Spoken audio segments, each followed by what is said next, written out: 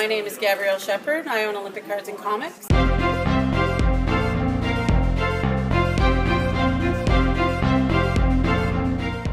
Um, I started working here when I was 15 and I've owned it since I was 18.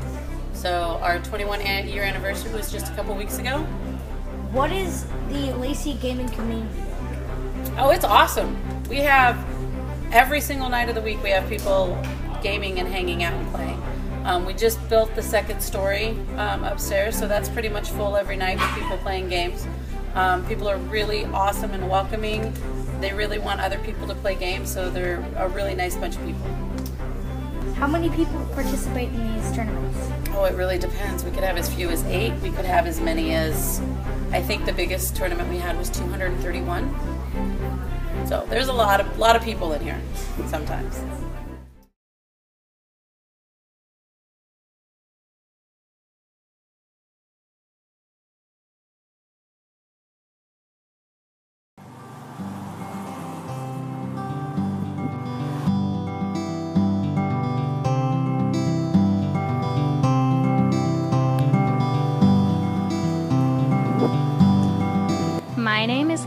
Murillo. This is my daughter Ruby Murillo. And the story of Little General is that I quit my job as an engineer because I wanted to do something else. And then Ruby came along, and I decided to try to start a small grocery store with some specialty food and I've always enjoyed smaller grocery stores in other towns. The philosophy is to encourage a community downtown by providing a local food source with real food as opposed to processed convenience store type the more people live downtown, I'm hoping that the more they will do their grocery shopping downtown. That's sort of the idea.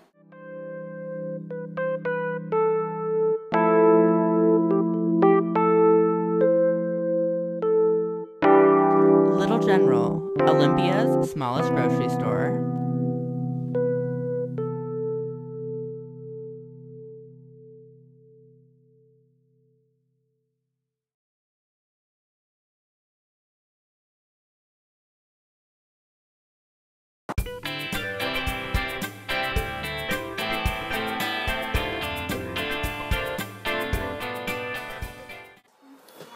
Was your first game that you ever played?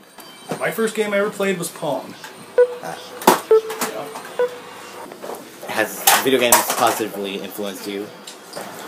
Video games have positively influenced me. Um, obviously, I'm able to work my own business with it, which is nice. Um, and it's uh, it's allowed me to connect with a lot of people I wouldn't have connected with, uh, different age groups of people, different people.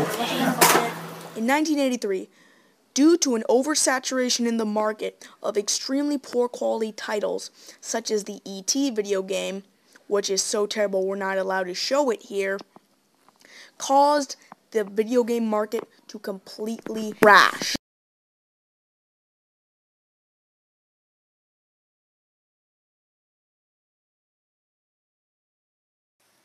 The capitol was actually started in the 1890s, and they were going to build a single state house with a 150 foot dome.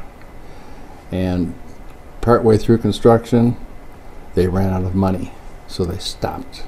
And the foundation sat for 30 years or so. And then in 1928, they finished this building and moved up here for the 1929 legislative session. This building was the last uh, state capitol built in the grand museum or church style to make the whole space look very important. So they have tall doors, high ceilings, big rooms to impress people that what they do here is pretty important. All the capitols built after this one look like office buildings. They have large assembly rooms, but mostly it's uh, wallpaper or particle board and uh, uh, maybe wood paneling, but more often than not it's just uh, plastic sheeting that looks like wood. It's uh, uh, built for uh, the office work that is done in the cube farm or something like that. Uh, so they're not really elegant looking museum or church looking structures.